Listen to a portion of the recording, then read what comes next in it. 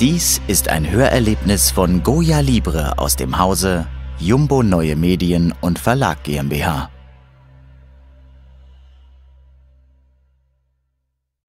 Vorsicht!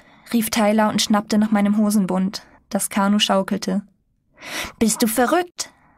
Aus der Wahlgruppe kam ein aufgeregtes Quietschen. Maura ruft ihr Baby, sagte Javid. Der kleine Orca tauchte ab und kehrte zu seiner Familie zurück. Weißt du, ob es ein Junge oder ein Mädchen ist? fragte ich Javid. Er hob die Schultern. Genau weiß ich es nicht, aber ich glaube, es ist ein Junge. Seine Rückenflosse ist ziemlich gerade. Ich würde ihn gern Bobby nennen. Okay. David lächelte. Aber jetzt müssen wir weiter, sonst wird es noch dunkel, bevor wir im Hafen sind. Ich griff nach meinem Paddel und wie durch ein Wunder schienen die Kräfte in meine Arme zurückzukehren.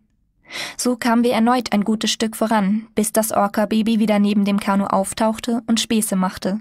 So ging es weiter, bis wir das Kap erreicht hatten. Bobby neben uns und hinter uns, und manchmal schwamm er auch voraus.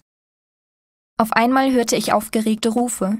Suchend blickte ich um mich, und David zeigte nach oben ans Kap. An der Holzbrüstung standen mein Vater und Lorraine. Sie winkten. Was Papa wohl gefühlt haben mochte bei diesem Anblick. Seine Tochter mit drei Indianern in einem bemalten Zedernkanu auf dem Ozean, umringt von fünf Killerwalen.